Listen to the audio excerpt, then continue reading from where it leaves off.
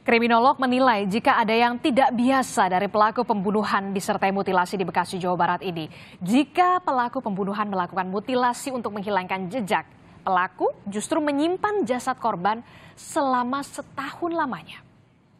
Sebetulnya kan esensi daripada mutilasi adalah agar si tersangka tidak usah melarikan diri dengan cara menghilangkan jati diri si korbannya. Nah ini kan lucu ini. Satu pihak dia memutilasi, dia membunuh korban, dilanjutkan dengan mutilasi korban, tapi kemudian uh, jasadnya disimpan. Amat amat pede gitu ya. Jadi agak paradoks ini.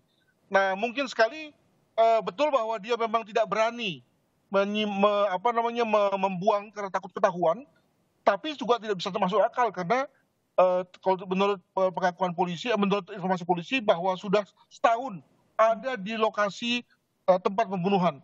Nah, saya lalu berpikir bahwa jangan-jangan memang ini orang ada penyakit jiwanya ini ya senang uh, senang atau terbiasa atau atau apa ya atau tidak merasa terganggu dengan adanya jasad di seputar lokasi di mana dia berada. Sepandai-pandainya menutup bangkai, bau busuknya juga akan tercium juga. Muslihat Eki menutupi kejahatannya, membunuh Angela selama setahun, akhirnya terbongkar. Dan hingga kini, polisi masih menyelidiki apa motif sebenarnya dari Eki Listianto membunuh kekasihnya ini.